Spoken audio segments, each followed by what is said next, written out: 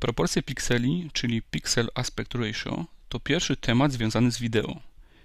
Podobnie jak w przypadku formatu obrazu, tak tutaj mamy do czynienia ze stosunkiem szerokości piksela do jego wysokości.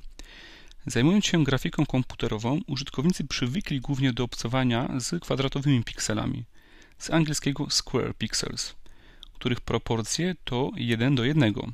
W świecie wideo piksele przybierają różne proporcje w zależności od wybranego standardu wideo. Większość z nich ma kształt prostokąta i określane są jako non-square.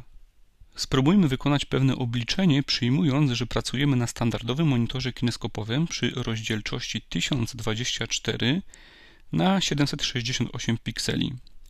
Wiemy, iż ta rozdzielczość oraz monitor kineskopowy definiuje format obrazu jako 4 do 3, będąc precyzyjniejszym 1,33 do 1. Spróbujmy pomnożyć 1,33 razy 768 równa się 1023,744. Następnie wykonajmy dzielenie. 1023,744 podzielić przez 1024 równa się 0,99975. W zaokrągleniu otrzymujemy wynik 1. Także uwzględniając format obrazu możemy wykazać, iż pracując w rozdzielczości 1024 na 768 pikseli dysponujemy pikselami o proporcjach 1 do 1, czyli piksele kwadratowe.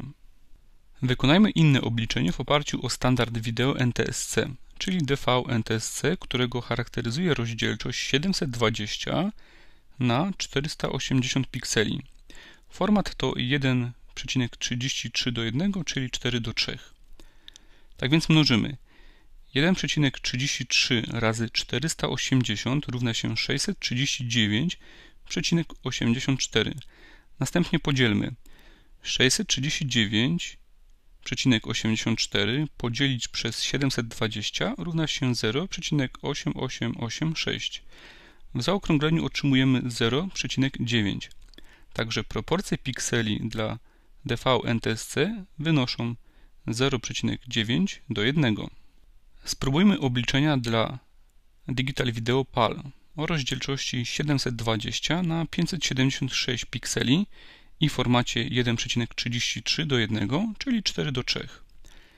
Tak więc mnożymy 1,33 razy 576 równa się 766,08. Następnie wykonujemy dzielenie.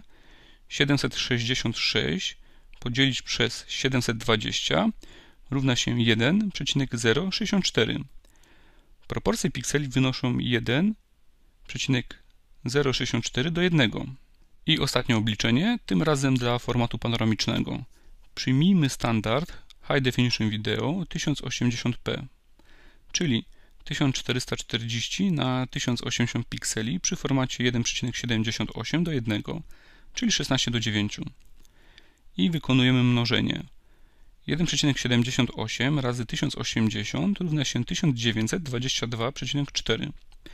Następnie wykonujemy dzielenie, czyli 1922,4 podzielić przez 1080 równa się 1,33. Tak więc proporcje pikseli w tym standardzie wynoszą 1,33 do 1.